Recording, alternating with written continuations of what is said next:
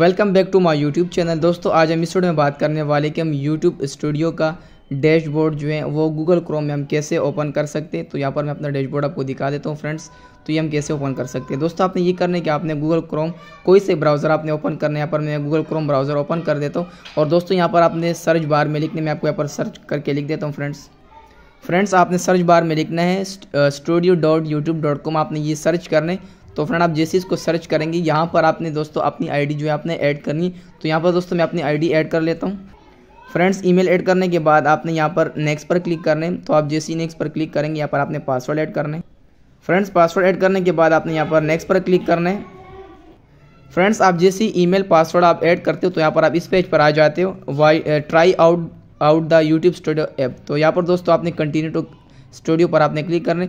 तो फ्रेंड, आप जैसे इस इस पर क्लिक कर देंगे, आपका जो यूट्यूब का स्टूडियो डैशबोर्ड हो, यहाँ पर आपका ओपन हो जाएगा। तो दोस्तों, आप इस तरह से क्रोम ब्राउज़र में यूट्यूब स्टूडियो डैशबोर्ड का आप इस तरह से इसको ओपन कर सकते हैं। अगर वीडियो अच्छी वीडियो लाइक करें, चैनल को सब्सक्राइब करें। मिलते हैं नेक्स्ट वीडियो में। अल्लाह